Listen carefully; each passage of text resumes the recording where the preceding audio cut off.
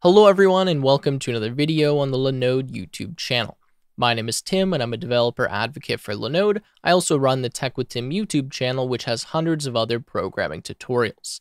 In this video, I'm going to share with you everything you need to know about containers, Docker, and Kubernetes, and by the end of the video, you should have a good understanding of what containers are, why and where you would use them, and how you can control them with tools like Kubernetes.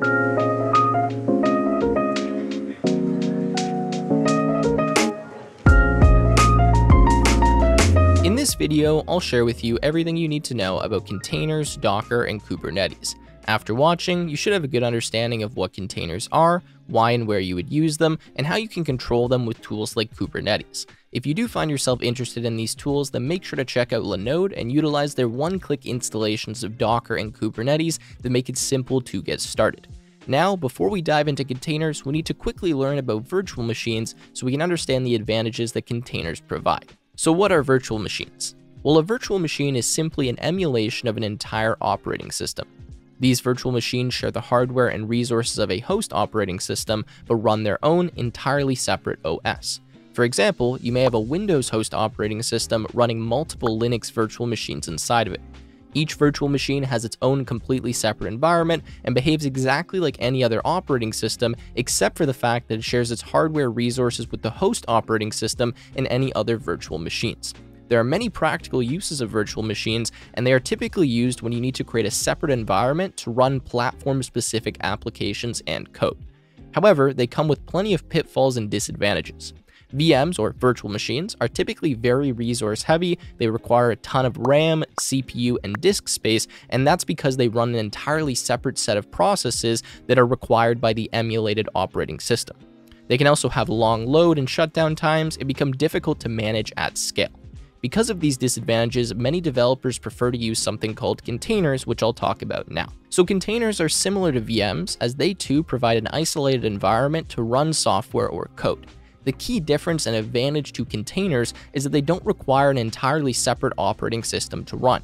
They actually sit on top of the host operating system and share the kernel, libraries, and binaries, unlike a virtual machine that has its own version of all of those.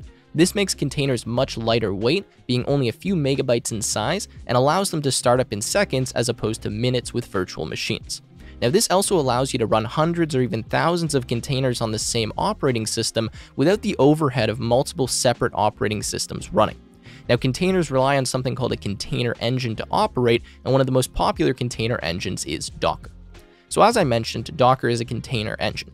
This means it allows us to create and run containers by handling all of the low-level complicated work like virtualization. When we use Docker, we first create or select something called an image. Now, an image is simply a specification of what dependencies our containers require. For example, if we are setting up a container to run a Minecraft server, we'd use a Docker image that specifies that we need Java, as well as all of the executable jar files for the Minecraft server itself. We then build a Docker container based off of that Docker image and be able to start, stop, or delete it as we please. Now, Docker containers make it easy for us to separate our applications into multiple microservices that run in their own independent environments with their own set of dependencies. They also make it easy to scale up our services by creating more containers or instances of those containers as necessary. So now that we've discussed containers, let's talk about an awesome tool called Kubernetes. Now, Kubernetes is a container orchestration system for automating software deployment, scaling, and management. Its main purpose is to control the creation and deletion of containers and load balance requests between them. When you start working on a larger software system, it becomes infeasible to manually create and start your containers, especially when you need hundreds or maybe even thousands of them. This is why you would use Kubernetes to automate this process. Now, before we go any further, let me provide a few key definitions for key Kubernetes terms, starting with pods. Now, pods are the smallest, most basic deployable objects in Kubernetes. A pod represents a single instance of a running process in your cluster, and pods contain one or more containers, such as Docker containers. Continuing, we have something called a replica set. Now, a replica set is a process that ensures that you always have a minimum number of pod replicas running. It will automatically create new pods if for some reason the number of pod replicas drops below the specified minimum. Next, we have a cluster. Now, Kubernetes cluster is simply the set of servers that are being controlled by Kubernetes and hosting your pods. Now, the final key term here is something called a deployment. A deployment is a specification file that defines the different pods you'd like to run, the number of replicas of those pods, binding for specific ports, and much more. You simply pass this deployment to your Kubernetes cluster, and it will automatically spin up the appropriate pods, replica sets, and more, doing all of the heavy lifting for you. So that's the basics on Kubernetes. Hopefully that gave you a general idea of how that works and how it can be beneficial to control containers. Now let's talk about when and why we should use containers. So at this point, you should have a decent idea of what containers are, how they can be controlled using tools like Kubernetes, and their advantages over traditional virtual machines. Now, let's dive into an example of when you'd want to use containers and discuss how they can be beneficial. So imagine you're designing an online game that will run in something like a browser. This game will have many components including the website where you'll actually launch the game, a database that will store user data and statistics, and then multiple servers that players will be connected to while they're actually playing the game. Now each of these components need to run independently and be highly scalable. This makes this project perfect for containers. So what you can do is set up a cluster of multiple servers that are responsible for running the containers for your website, database, and game servers. You can then use Kubernetes to control the creation and deletion of these containers on the different servers based on the number of active players. When player count is high, Kubernetes can spin up more containers, and when it's low, it can shut them down to save money on usage.